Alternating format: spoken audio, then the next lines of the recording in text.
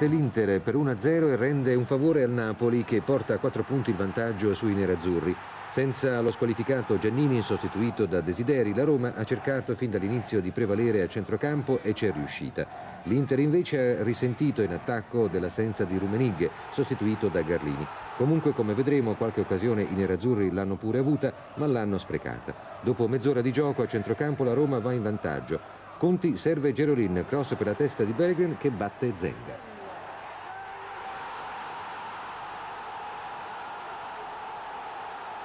La reazione dell'Inter è quasi immediata. Al 35esimo Matteoli lancia Altobelli e Tancredi deve uscire dall'area per anticipare di piede il centravanti della nazionale.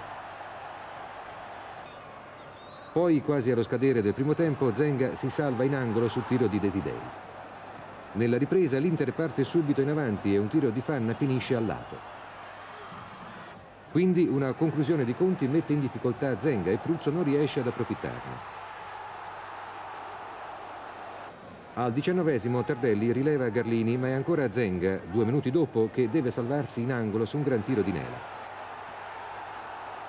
Al venticinquesimo Tardelli ci prova dal limite ma Oddi devia in angolo.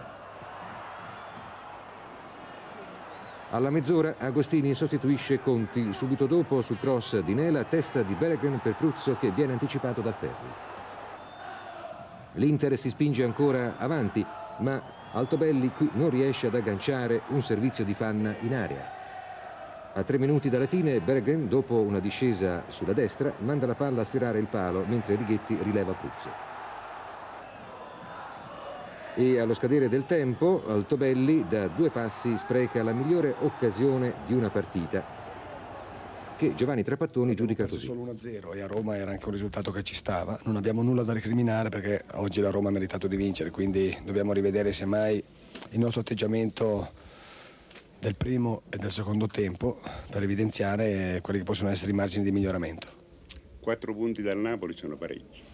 Sì, sono parecchi perché questa squadra poi vincendo come non so ancora come, però se ha vinto fuori casa è significativo che come vado dicendo da tempo questa squadra è la più equilibrata e la più lineare.